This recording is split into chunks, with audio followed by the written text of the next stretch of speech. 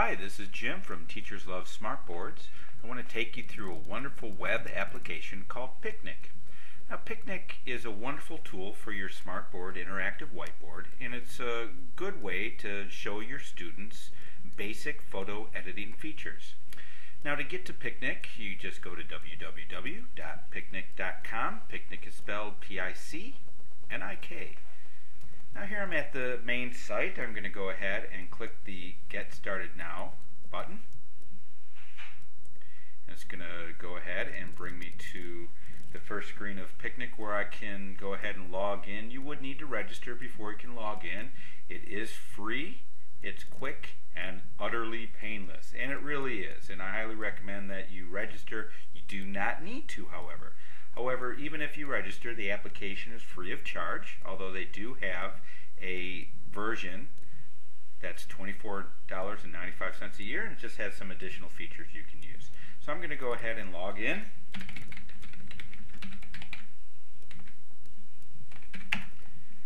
And it's going to take me to the home page of Picnik where I can upload a photo, uh, go to any of my other tabs, so if I go to my photo tabs, that's just a quick place I can upload photos.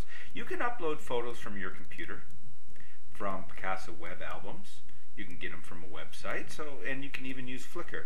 Now I've actually attached and told Picnik about my Picasa photo sharing site, and I've got an album out there called December 2007 where I have some pictures of my son Wesley. So I'm gonna, uh, I've already been working with Picnik and made some wonderful Christmas pictures.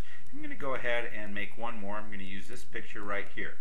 Now the reason I like Picnik is that it does work very well with your interactive whiteboard. And what I mean by that is to manipulate Picnik, you really only need your left mouse button. Uh, and so on the smartboard, all you would need to do is touch your smartboard with your finger. So I would touch here on the drop down menu and touch the delete option to load that picture. Now it's loaded and it uh, jumped immediately to my edit tab allowing, allowing me to do some basic editing. As you can see up here, auto fix and rotate and crop, all your basic editing features, even red eye. I'm actually going to do a couple things here. The first thing I want to do is I'm going to look at my exposure, click on that. I'm going to darken it just a tad. There we go. And click OK. The next thing I'm going to do is I'm going to crop it. And I'm going to do something neat that I want to show you. I'm going to constrain it to dimensions for a uh, 5 by 7 photograph. And that comes in handy in case you want to print it out. It'll be in the perfect dimensions so you can print it out and put it into a 5 by 7 frame. So I'm going to move it there. I'm all set. I'm going to click OK. And there's my new photo. So the next thing I'm going to do is go to my Create tab. And this is where the fun begins. Now I'm not going to go through all the different options here. That's where uh, your students would go and play around with the different features and get a feel for what the different things do. Uh, but you have effects. You have a lot of effects down here too that you don't get with the standard version, but if you do purchase the premium version, you'll be able to use these different effects. Um, so these basic things, here's a black and white, uh, antique, boost. I'm not going to use any of these effects right now, but you can get the idea. I am, however, going to go over to my frames, and I'm going to create a border around this picture. So I click on border. I'm going to make some minor modifications to it, and thin out that first border, fatten up the second border, change my colors to some Christmas colors, and let's see, that would probably look, there we go, green looks really nice. So I got a neat border, so I'm just going to go ahead and apply it. There you go. Now I'm going to go up to my shapes, and one of the reasons I wanted to bring uh, Picnik to your attention now, before the holidays, is Picnik has put in some neat uh, Christmas icons and stickers and other things you can do. Um, so uh, in order to put something on your picture, what's neat, all you have to do if you're using your interactive whiteboard is simply go over there and uh, just tap it with your finger or do a left mouse click if you're working on the computer and it'll instantly put the object on the screen. From here, you can simply touch and drag it to wherever you want. You Just like in your notebook software, you can touch and drag one of the corners to make it a little bit bigger. So you can see we can do all sorts of fun things. I'm going to actually put this back here, shrink it down a little.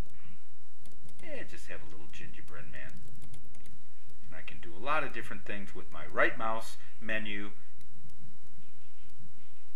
To, in order to get your right mouse menu, just a quick tip, you can, on your smartboard, you can touch your finger on the object, hold it down for about three seconds, and boom, the right click menu will appear.